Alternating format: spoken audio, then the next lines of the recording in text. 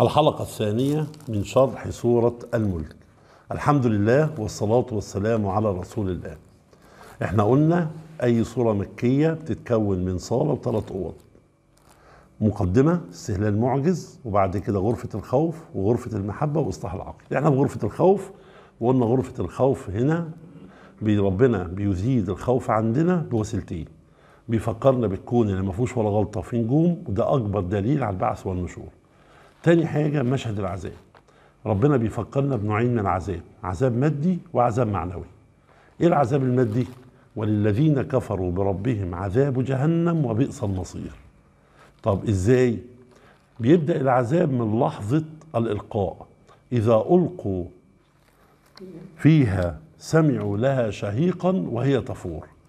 أول ما بير أهل النار بيترموا في النار اللي يجي عليه الدور ويترمى بيسمع شهيق وغليان في فيها. طب الشهيق جاي منين؟ الشهيق جاي من اتنين.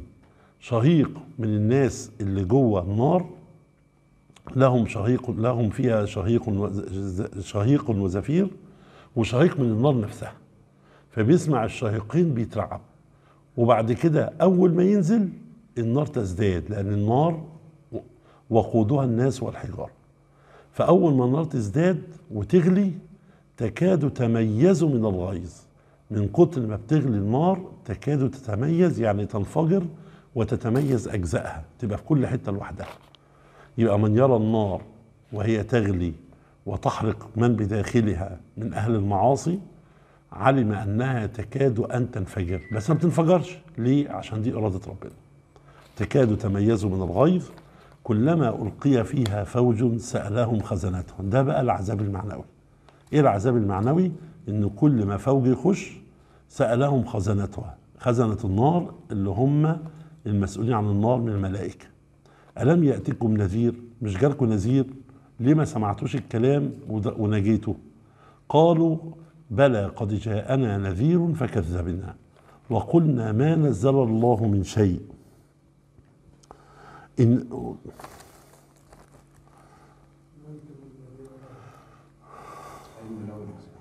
ما نزل الله من شيء إن أنتم إلا في ضلال كبير. وقالوا لو كنا نسمع سماع طالب حق أو نعقل عقل طالب حق لنجونا ولأطعنا الرسل. ولو كنا نسمع أو نعقل هم بيسمعوا بس سماع رجل بيطلب الرد بيسمع عشان يرد مش عشان يقتنع. ولو كنا نسمع وقالوا لو كنا نسمع أو نعقل ما كنا في أصحاب السعير. فاعترفوا بذنبهم فسحقا لأصحاب السعير. سحقا يعني نزلوا لأبعد نقطة وبعدا عن الرحمة وبعدا جوه النار. سحقا يعني بعدا عن الرحمة وبعدا جوه النار لأصحاب السعير. طيب كده إحنا خلصنا الاثنين الكون وخلصنا مشاهد العذاب. طيب عاوزين بقى نعمل إيه؟ نخش على الجزء الثاني إيه الجزء الثاني المحبة والرجاء. إزاي ربنا زاد المحبة والرجاء عندنا؟ قال الله تعالى إن الذين يخشون ربهم بالغيب لهم مغفرة وأجر كبير. اللي بيخشى ربنا بالغيب ليه مغفرة؟ إن ربنا هيشيل كل ذنوبه. وأجر كبير عظيم اللي هو الجنة. طب ما معنى يخشون ربهم بالغيب؟ يعني هم غائبين لا يرون الناس ولا يرون وجه الله. قاعد عيناه غائبتان عن عين عن, عن وجه الناس ووجه الله.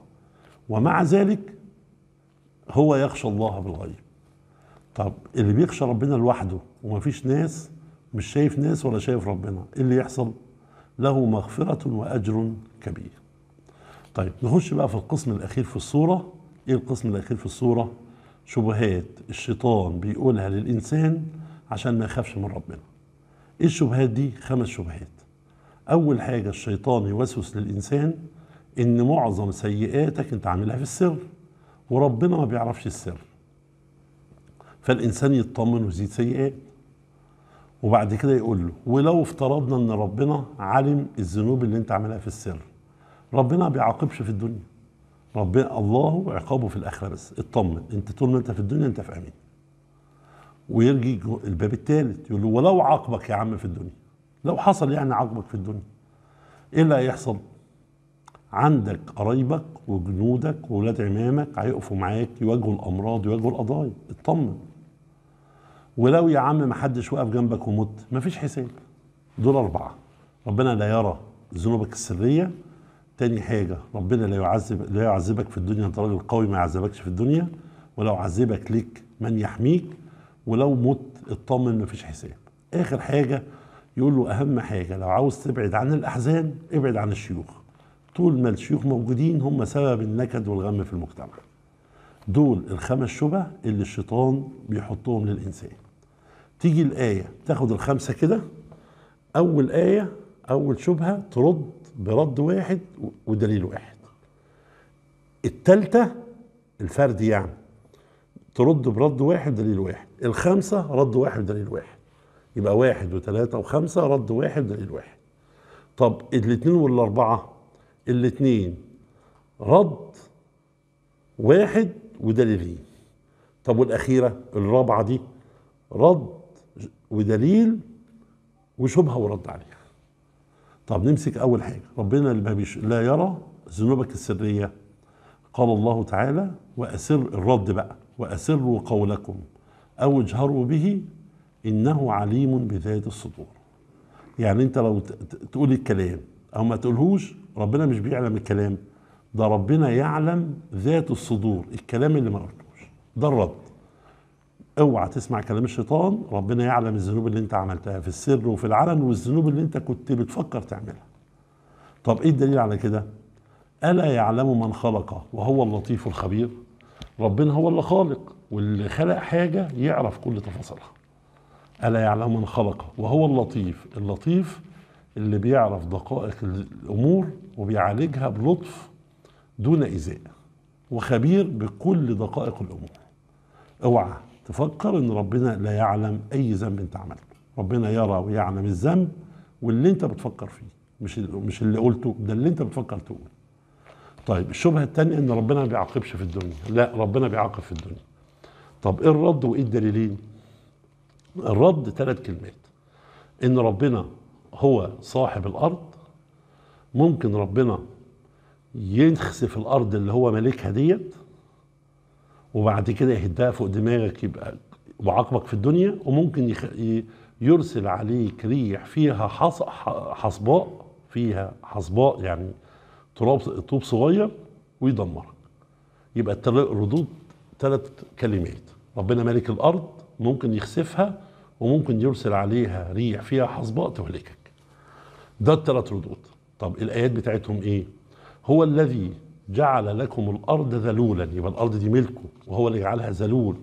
فامشوا في مناكبها وكلوا من رزقه وإليه النشور. يبقى الأرض بتاعته هو اللي ذللها وهو اللي خلاكم تمشوا في مناكبها يعني جوانبها وإليه النشور وفي النهاية هتتحاسبوا على المشي كله أأمنتم من في السماء؟ دي بقى العقوبة اللي من تحت من تحتك. في عقوبة من تحتك وهو من فوقك. صاحب الأرض ممكن يعاقبك. من تحتك بالأرض بتاعته ممكن يعاقبك من من فوقك في الأرض بتاعته. أأمنتم من في السماء أن يخسف بكم الأرض؟ يخسفها يعني ينزلها تحت وأنتوا عليها. زي ما حصل في قارون نزل الأرض تحت. فإذا هي تمور يعني تهتز بشدة فجانبي الأرض ينزلوا فوقيكوا يردموكوا ومفيش مخلوق يعرف يطلعكم ده عقوبة سفلية. طب العقوبة العلوية أم أمنتم من في السماء أن يرسل عليكم حاصبا فستعلمون كيف نذير. يرسل عليكم ريح فيها حصو زي ما الريح بتاعت عاد تدمرهم طب عندنا كام دليل على الكلام ده؟ دليلين. أول دليل ماضي ودليل حاضر. الدليل الحاضر الماضي إيه؟ ولقد كذب الذين من قبلكم فكيف كان نكير. عاد كذبوا فجالهم العقاب العلوي الرياح اللي دمرتهم. وقارون كذب فجاله العقوبة, العقوبة السفلية وفي الدنيا يبقى ربنا بيعاقب في الدنيا. طب لو الكافر قال أنا ما أعرفش التاريخ نقول له في دليل واقعي. إيه الدليل الواقعي اللي هو الطير.